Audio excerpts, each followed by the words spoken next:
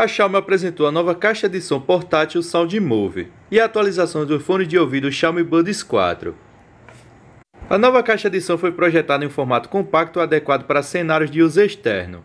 Esse tipo de modelo já é bastante presente no mercado de caixas de som. Além disso, ela vem com botões localizados no lado esquerdo da barra do som para ajustar o volume, pausar o áudio e controlar a conectividade Bluetooth.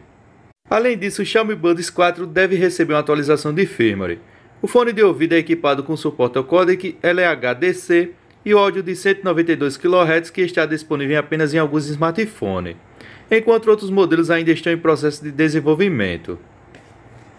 O Xiaomi Buds 4 vem em três opções de cores, preto, branco e verde, e o fone de ouvido possui três microfones, permitindo que o cancelamento de ruído seja aplicado durante as chamadas além de contar com carregamento rápido, onde apenas 10 minutos de carregamento pode fornecer até cerca de 2 horas e meia de audição. Além disso, os próprios fones de ouvido ainda possuem a duração de bateria de cerca de 6 horas, com estojos de carregamento capaz de fornecer até 30 horas de uso total. E ele possui certificação IP54 e é resistente à água e poeira. E este foi o vídeo de hoje, galera. Beleza? Falou!